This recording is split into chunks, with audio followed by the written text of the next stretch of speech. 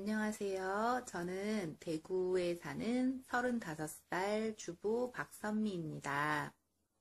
어, 저는 새 아이를 출산했는데요. 아이를 이렇게 낳고 산후조리가 제대로 안 되다 보니까 몸이 많이 붓고 관절이 좀 안 좋고 그런 것도 있었는데, 음, 엘리오틴이랑 슈퍼헬스를 꾸준히 한 5, 6개월 정도 먹으면서 어, 붓기도 많이 빠지고 또 관절도 많이 좋아진 거를 느꼈어요. 그리고 제가 또 담석 수술도 했었는데 담석 수술을 하고 나서도 조금 많이 몸이 가벼워지고 또 어, 몸이 전체적으로 좀 좋아졌다는 거를 많이 느꼈어요. 그래서 어, 여러분들도 꼭 어, 복용해 보시면 좋을 것 같아요. 도움이 많이 되는 것 같아요.